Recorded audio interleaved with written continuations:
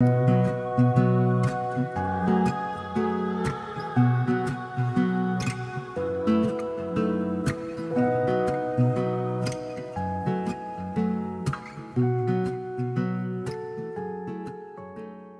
everyone, so to kick things off as always, I'm going in with a primer. Today I'm using the Urban Decay Primer Potion. Now in hindsight I'd actually have used a tinted base as well, even just the base actually, um, because the pink tones in the palette do stain the lids, so bear that in mind. So I'm busting out the Riviera palette from ABH again. If you haven't seen my previous tutorial, I'll link it below. First shadow I'm taking is called Coastline, which is a nice warm peachy pink shade. I'm starting out by tapping a little this down on the outer third of my eye and then I'm using circular motions and sweeping motions to buff it up into the crease of the eye. Now initially I'm just focusing this on the outer portion of the eye and then bringing it across the crease. I'm really focusing on rounding out the eye today. Next then I'm taking the shade Monte Carlo and this is a really nice warm pink shade that's matte as well and I'm adding it into the crease too just not blending it up as high as previous shade. Now these two shadows on their own look really nice I think for summertime if you wanted just a little pop of colour to your makeup look without it being too intense. Then I'm going back in with a very small amount of that coastline shade and I'm running it around the edges of the look just to make sure that it fades in nicely with the pink first of all and secondly so that you still get a bit of that peachy hue. Next then I'm taking Palm which is a deep warm brown shade and I'm using this to add some depth and as you can see I'm tapping the shadow down at an angle and once I've laid down the colour I'm using circular motions to blend it out. Not been too particular at this point because I'll be adding the brown in a couple of stages.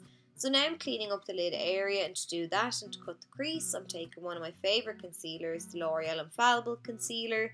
Um, I just love the applicator on this because it makes applying the product very easy to do Going back in with a bit more of that palm shade, I'm very lightly buffing it in towards the concealer and I'm doing this because I don't want a harsh divide between the two. Switching to a smaller, more detailed brush now, I'm picking up a little more of that brown again and I'm taking it across into the crease. I've switched now to a slightly larger bullet shaped brush and once I've built up that brown I'm using this brush to kind of lightly blend it out. Once I've faded as much as I can with that small bullet shaped brush, I'm finishing things off with my fluffy blending brush. After blending that brown, then I'm going in with some more of the pink eyeshadow and applying this on the edge, again just to make sure that it can still be seen. Next then I'm taking the eyeshadow Sails, which is a matte white, and I'm adding this just on the kind of third of the lid. Um, I'm bringing it over further than I want to because I'm going to overlap my shadows and that'll just help with the blending process. So now then I'm adding Coastline next to it as you can see, just tapping down a small amount of this eyeshadow. Next then I'm taking Yacht which is a nice golden bronze kind of shade and as you can see I'm just adding a buttload of eyeshadows to achieve this look. I'm working my way across the lid. I'm taking Bahamas now and patting this down next to it again.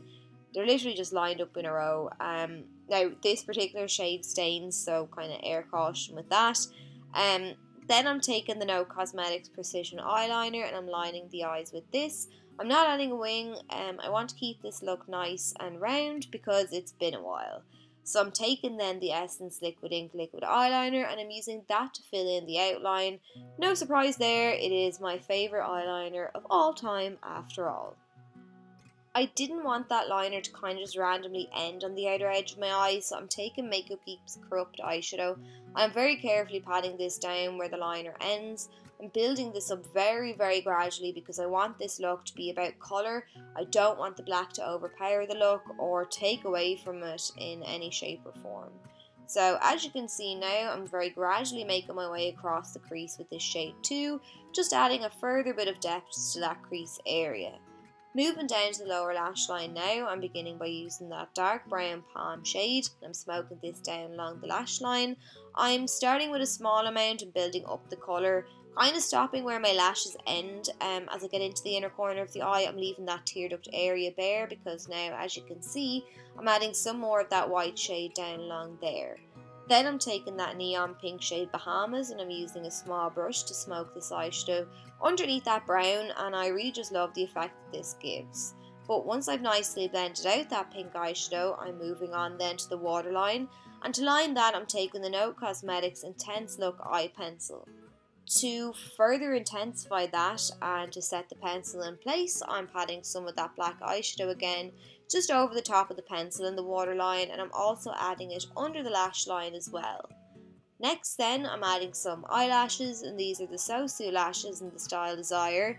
Now everybody always asks me about lashes and it's something that you just have to be patient with. Sometimes it doesn't work first time as you can see here with me now but just take your time with it, allow your glue to get tacky and then stick down your corners. To blend my own lashes then in with the false ones I'm taking my favourite mascara. This is the Lancome Hypnose Mascara um, love the effect it gives and it doesn't smudge under my eyes so I'm just using that to blend my own lashes in with the false ones and that's it. So I hope you enjoyed the tutorial and found it helpful. If you did, let me know and I'll catch you all soon.